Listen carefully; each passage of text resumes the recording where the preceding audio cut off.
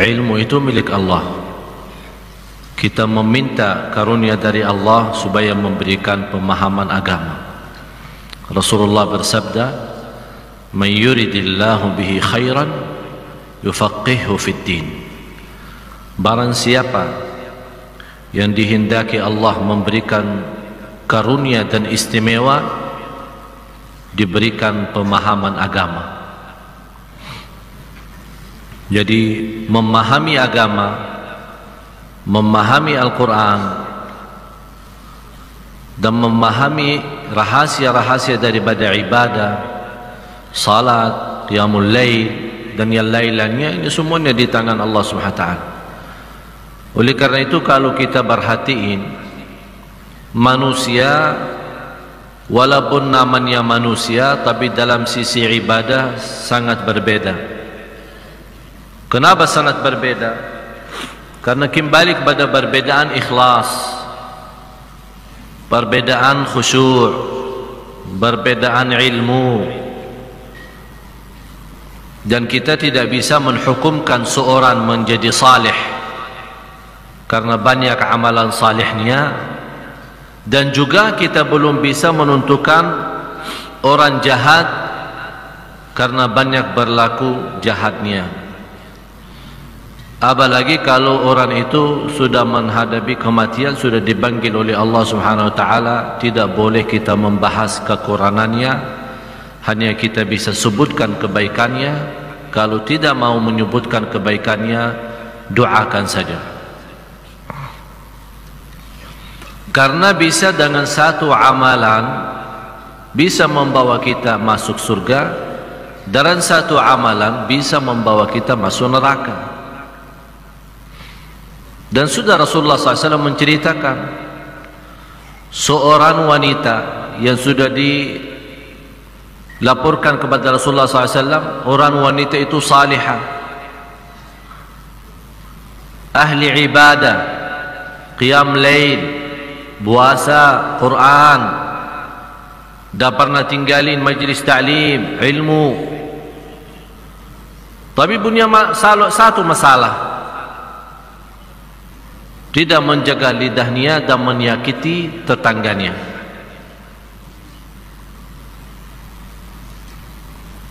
Menyakiti tetangganya dan lidahnya bagaimana ya Rasulullah keadaannya ini? Apa jawab Rasul? Dia masuk neraka.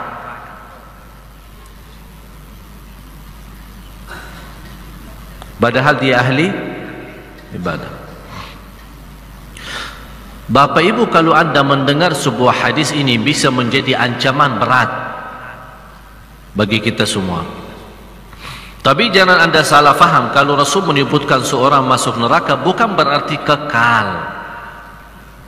Karena tetap kebaikan itu terhitung karena Allah maha adil. Cuman cuba lihat sejauh mana buruknya ucapan lidah ini yang bisa dengan ucapan biasa atau kita menghitungkan biasa tapi dengan ucapan satu bisa membawa kita masuk neraka 70 tahun. Ini baru satu kata. Ini bukan kata saya kata Rasulullah. Wa rubba kalimatin yaquluha qail la yulqi laha balan tahwi bihi fin nari 70 kharifah Berumpamaan seorang yang mengucapkan satu kata tanpa disadari. Dengan kata itu dia mendapatkan murka Allah masuk neraka 70 tahun.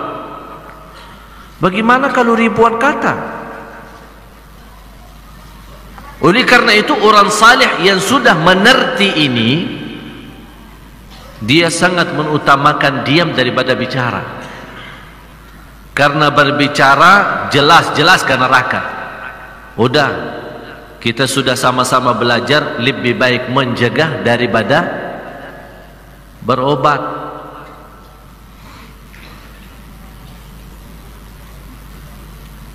seorang wanita yang Rasulullah SAW menceritakan dan saya yakin Bapak Ibu sudah banyak mengerti cerita itu seorang wanita ahli ibadah tapi masuk neraka gara-gara apa?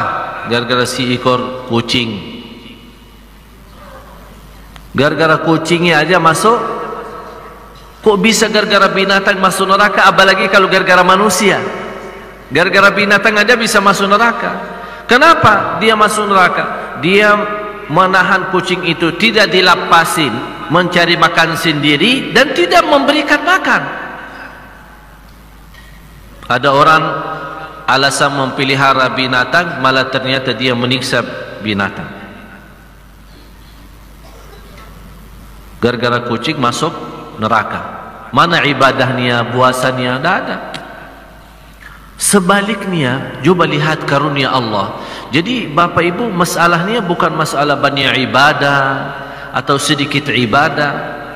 Sebagaimana di hadis yang sahih Rasul menceritakan cerita wanita dari Bani Israel. Tidak punya kebaikan sama sekali. Malah dikenal wanita ini zina Tak pernah punya kebaikan. Barna habis dia minum air. Kemudian begitu dia turun dari subur air. Dia bertemu dengan ekor anjing. Yang lagi keluari lidahnya memberikan tanda haus. Kata wanita itu. Oh kasihan anjing ini. Dia merasakan haus sebagaimana saya tadi merasakan haus. Dia malah turun ke subur air kembali ambil air kemudian berikan. Allah lihat perbuatannya kata Rasulullah. Allah ampuni segala dosanya dan masuk surga. Oleh karena itu kalau masih ingat Bapak Ibu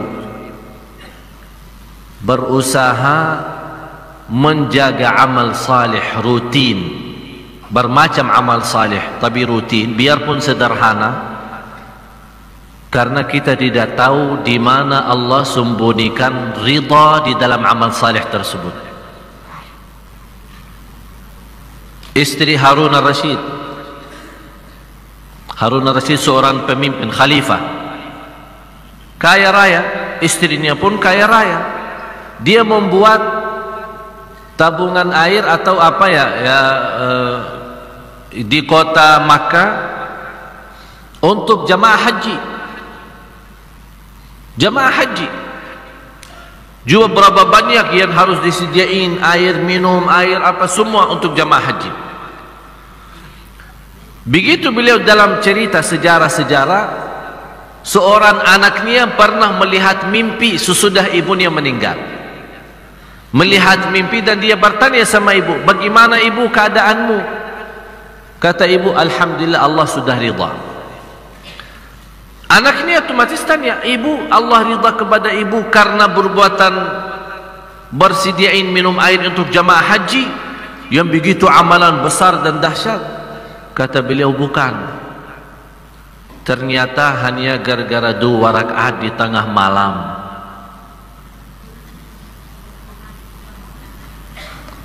Jadi masalahnya bukan amalan kita kadang-kadang merasa diri aku sudah membangun masjid yang terbagus sedunia. Belum tentu ini yang bawa masuk surga. Tapi bisa menyentuh kepala anak yatim dan rasa kasih sayang membawa kita masuk surga. Jadi masalahnya Bapak Ibu jangan Anda menghitungkan amalan kita sama Allah. Tapi yang kita jaga adalah ridha Allah. Bagaimana kita bisa berjuang supaya dapat ridha Allah itu. Oleh karena itu kalau kita baca surat Tabarak, "Huwa alladhi khalaqal mauta wal hayata liyabluwakum" Faham itu artinya ahsanu amala? Hah? Sebaik-baik amal ya. Bukan sebanyak amal. Jadi masalahnya bukan banyak. Masalahnya baik, tulus, ikhlas, biarpun sederhana. Semampu kita. Itu luar biasa. Ada seorang yang kita lihat awam sekali tidak bisa apa-apa tapi perhatiannya kepada tetangganya luar biasa tidak pernah salat malam tidak pernah. Malah ada satu cerita dalam musnad Imam Ahmad. Disebutkan dalam musnad Imam Ahmad bagaimana seorang sahabat ada riwayat Abdullah bin Umar ada riwayat Amr bin Al-As ada riwayat Abdullah bin Amr. Intinya daripada riwayat ini Rasulullah SAW menyebutkan seorang waktu Rasul berkumpul dengan sahabat ada seorang sebentar lagi masuk dari pintu ini dia ahli surga. Kalau Rasul berkata seorang ahli surga itu sudah terjamin. Karena yang berhak untuk menentukan siapa ahli surga dan siapa ahli neraka hanya dua. Allah dan Rasulnya. Di hari yang kedua sahabat berkumpul juga sama Rasul dan kata Rasul sebentar lagi dari pintu ini akan masuk seorang dari ahli surga. Dia ahli surga. Ternyata orang yang datang kali ini sama yang dia dia sendiri. Di hari yang ketiga munculnya orang juga yang yang sama. Di antara sahabat yang mengikuti tapi orang itu tidak mendengar apa kata Rasul. Dia ahli surga. Begitu beliau keluar diikuti sama seorang sahabat. Ada riwayat Abdullah bin Umar, ada riwayat Amr bin As, ada riwayat Abdullah bin Amr. Diikuti. Dan minta ninap di rumahnya. Diizinkan minta ninap di rumahnya. Ninap di rumahnya. Tapi dia ninap di rumahnya dia mau tahu.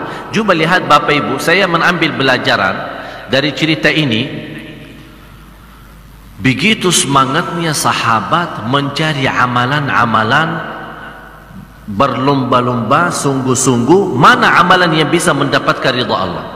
Sampai dia tinggalin keluarganya tinggalin urusan mau ninap di rumah orang dia mau tahu kelebihannya apa sampai dapat tiga kali disebut ahli surga oleh Rasulullah.